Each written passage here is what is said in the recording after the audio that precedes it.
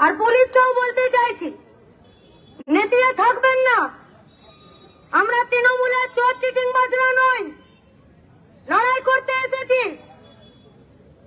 নিজেদের কাজ, পড়াশোনা এবং চাকরি জীবনকে ধন্যবাদ দেবেন যে আপনাদের চাকরিগুলো বাম ফ্রন্টের সময় হয়েছে। নইলে বাপের কিডনি বিক্রি করেও চাকরি পেতেন না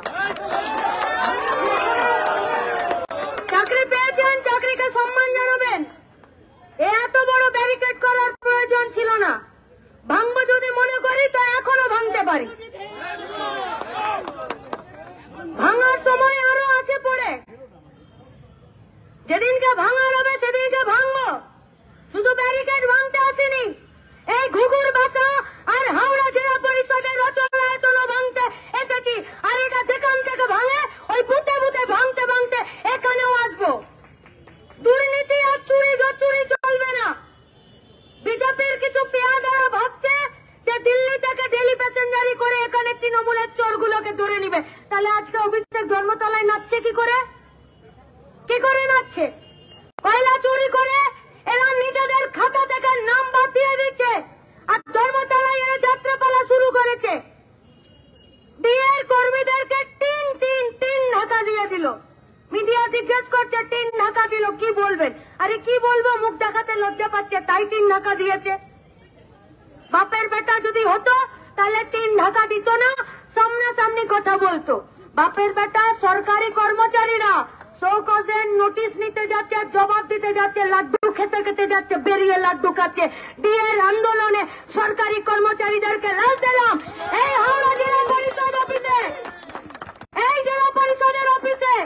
যে যে কর্মীরা আপনারা ধর্মঘটকে সমর্থন করেছেন, ভয়ে হলেও ডিউটি আসতে বাধ্য হয়েছেন, তাদেরকেও লাল জানাচ্ছি। আগামী দিন আপনার ভয়ও আমরা কাটিয়ে দেবো।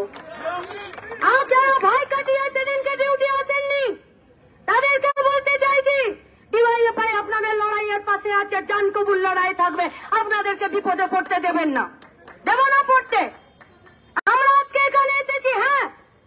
একশো দিনের কাছে দুর্নীতি হয়েছে। টাকা লুট করে নিয়েছে, লুট।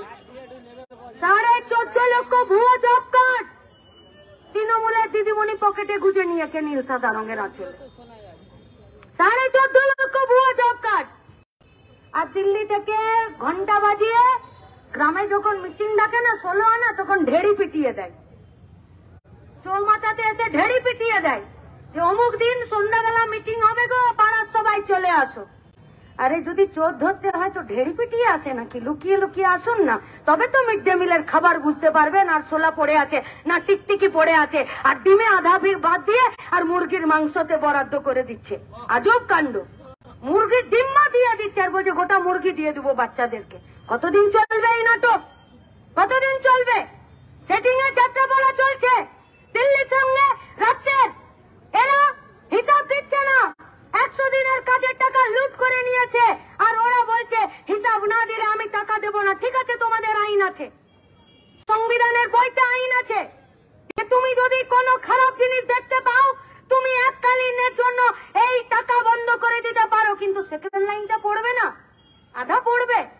লেখাপড়া তো বাপু ভালোই শিখেছো, তবে তো ডব্লিউবিসিএস আর আইপিএস অফিসার হয়েছো।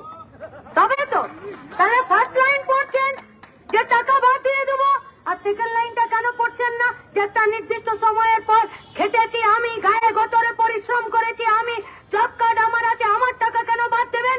সেই টাকা দিচ্ছে না। আমি আমাদের কর্মীদের বোঝার জন্য এই কথা বললাম। পুলিশ কথা বুঝতে পারবে না। কেন? হেলমেট পরে আছে তো? হেলমেট পরে আছে। আর দেখুন, যতজন সামনে আছে, কারও বুকের কাছে নিজেদের নাম লেখা নেই। কেন? কারণ হুগলিতে আমরা বলেছি যে যে বেটা বেশি পুলিশের ডান্ডা চালাচ্ছিল, সে বেটার বিরুদ্ধে আগে কমপ্লেন করব, আগে ব্যাচটা খুলে নিয়ে চলে আসে আগে আগে খুলে নিয়ে চলে আসে। ভয় পাবেন না। আইন অনুযায়ী কাজ করুন। আপনি যে হেলমেটটা পরে আছেন, আইনটা আপনার হেলমেটের উপরেও আছে, আপনার বুটের তলায় নেই। আর যদি আইনকে বুটের তলায় ভাবেন, মানুষও কিন্তু আপনাদেরকে কোথায় রাখবে বুটের তলায় না হেলমেটের উপরে, সেটা কিন্তু মালের দায়িত্ব আরোই রবে। আমরা দায়িত্ব নেব না। নেব না দায়িত্ব আমরা। গোটা হাওড়া জেলা জুড়ে ভুয়ো চাকরির র্যাকেট চলছে গোটা হাওড়া জেলা জুড়ে হাওড়া স্টেশন থেকে শুরু করে উলুবেড়িয়া স্টেশন পর্যন্ত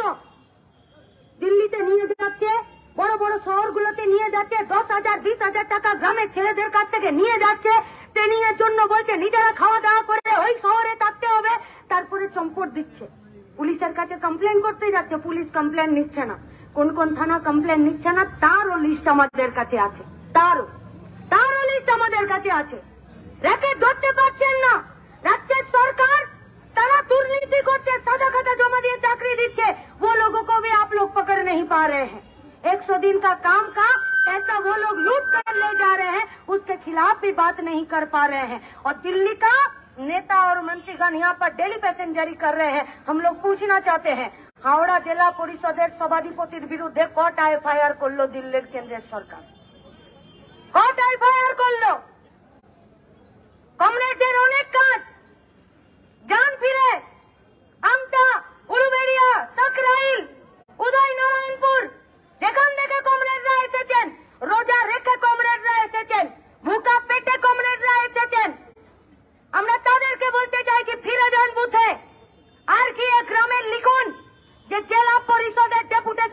গেছিলাম দুর্নীতিগ্রস্ত লুটেরা জেলা সভাধিপতির বিরুদ্ধে বিজেপি সরকারটা একটা এফআইআর করেনি। ও এখনও চেয়ারে বসে আছে। তাই আমাদের কমরেডদের আমরা তিনটে কাজ দিতে চাইছি। ফিরে যান।